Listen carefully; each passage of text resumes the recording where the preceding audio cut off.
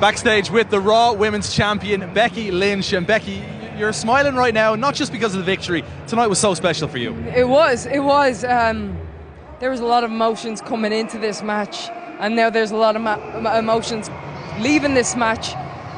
My childhood hero, the person who I looked up to, a match that that honestly I, I never thought was going to happen.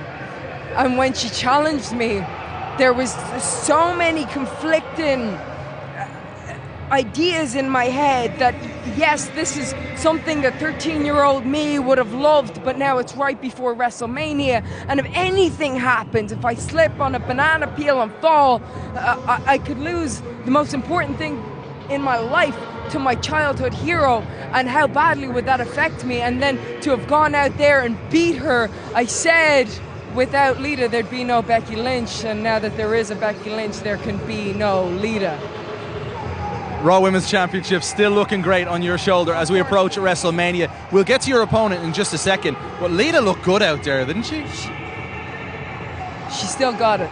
She still got it. And look, if I wanted to beat Lita, I wanted to beat the best version of Lita. And tonight we got the best version of Lita. And I beat her.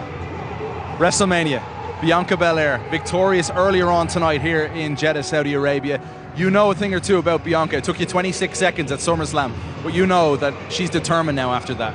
I know she's determined. I know she's been scratching and clawing to get back in that title picture. And now we have the biggest match possible.